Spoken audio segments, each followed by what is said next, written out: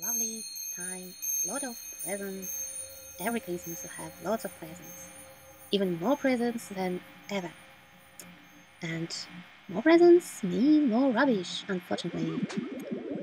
More rubbish means non-ecological living. And my idea is to convert shoeboxes into doormats. Or probably dog mats, or probably Christmas tree mats. But actually, I prefer to have doormats. My dog will not agree with me, I think. I think she has her own thoughts about it. Yeah, how can I get this mat? Actually, bite it a little bit. Yeah, I think I can come closer. Yeah.